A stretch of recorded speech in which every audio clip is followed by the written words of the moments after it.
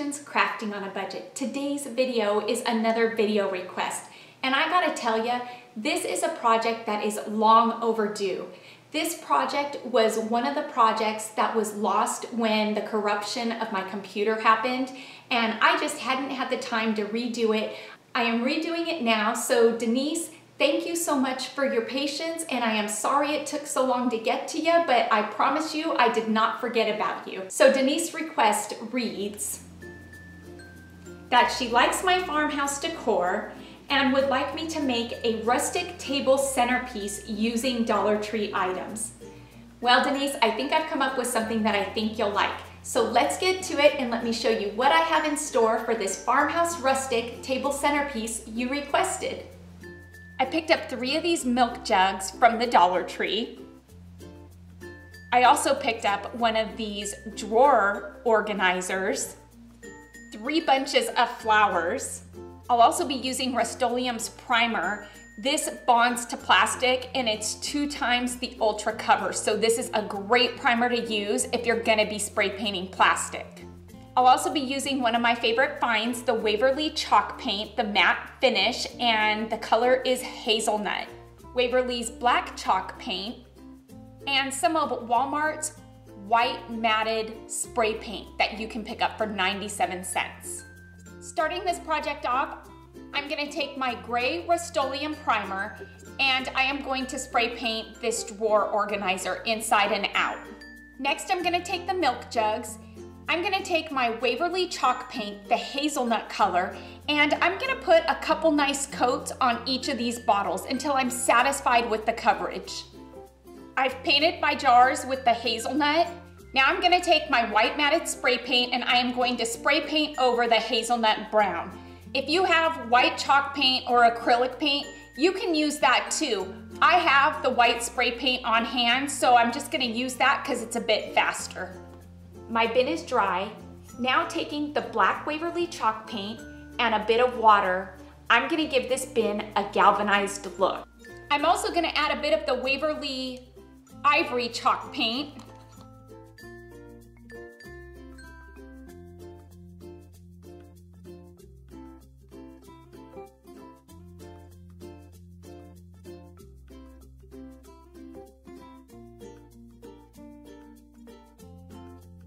Now I'm gonna let this dry. If you guys haven't seen this video, I'll leave the link in the description box below on how I made my handy dandy glue gun holder. I love it and it makes life so much easier for all of us crafters.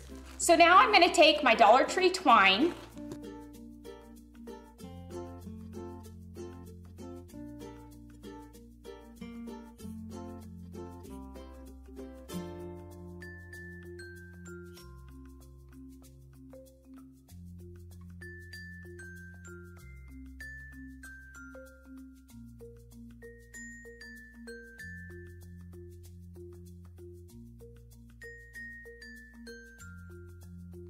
My jars are painted. Now I'm gonna take a real fine sandpaper. The Dollar Tree milk jugs are amazing. They have lots of lifted glass, so when you sand it, it will distress beautifully, and that's what I'm gonna do. And I just wanna sand enough to get through the white down to the brown.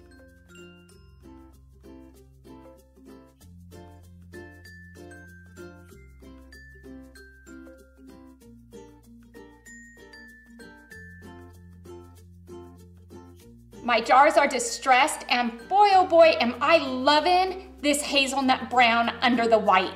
So rustic. Now I'm gonna take my twine and look at how stinking cute that is. Loving it. Now we're gonna take our flowers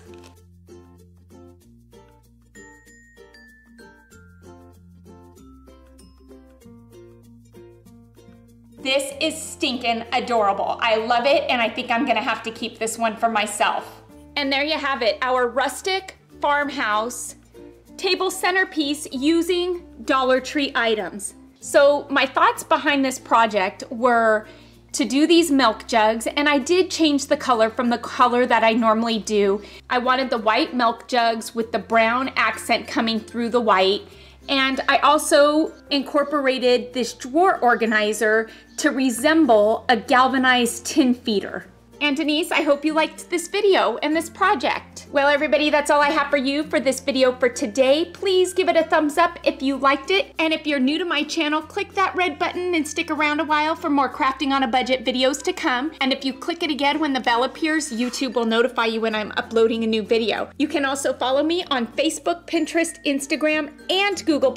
Those links are in the description box below. Just click on those links, click follow, and you'll also be notified through social media when I'm I'm uploading a new video or just doing something fun. You can also find my P.O. box in the description box below as well if you're interested in sending me mail and watching me open it up in a video. Until next time, everybody, I hope you have a fantastic day. Happy crafting on a budget, and bye for now.